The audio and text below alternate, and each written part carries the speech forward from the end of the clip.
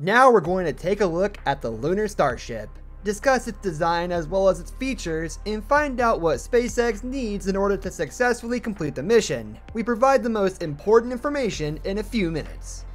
Lunar Starship is a rather radical change from the fully usable vehicle that NASA has been developing for years. Clearly, this could be an ideal step toward a truly reusable Mars spacecraft. The interior volume of the spacecraft is one large cylinder with a top that tapers into a cone. What's thrilling is the elevator, which safety will be an absolute necessity for NASA. Of course, SpaceX can incorporate a manual backup system and a ladder on the outside in the event of a complete system failure, but it still poses a risk, since moving in a low gravity environment is not easy. The fact that SpaceX has already built and begun testing a prototype of the Starship moon elevator makes it hard to believe that the company will ultimately fail to make a safe and reliable mechanism. Yusaku Maezawa, the first paying passenger, booked a trip aboard the SpaceX spacecraft. The plan is a week-long trip to and from the moon. What's interesting is, he's looking for teammates who have a chance to get a free ticket. He needs 8 creative and constructive people. So there needs to be cabins, dining rooms, and space for people who will be on board for up to 2 days. The lack of front and rear flaps has been glaringly obvious to the public and aerospace enthusiasts.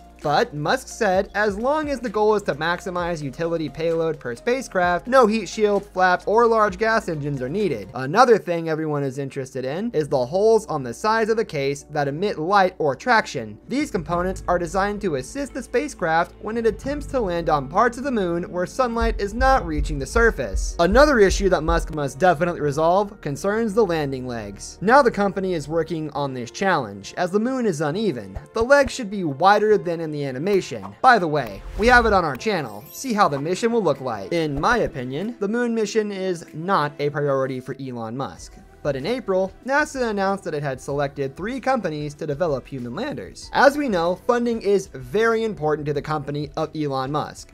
The goal is to develop and demonstrate a human landing system, so that one of them could support a manned mission in 2024. SpaceX also proposed to use several starships for moon flights. One will sit in low Earth orbit as a storage ship, fuel supplied by the tanker starships. Another starship designed for humans would fly to the fuel depot, refuel, and continue to the moon. If you're interested in keeping up with new technology, subscribe to our channel to stay up to date. Good luck!